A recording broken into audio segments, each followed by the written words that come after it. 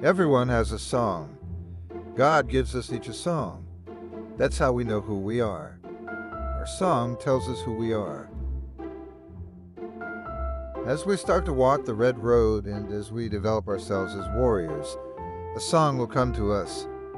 This song is given to each of us from the Great Spirit. Whenever we sing this song, we will receive courage and strength not only for ourselves, but if we sing this song for others, it will also help them.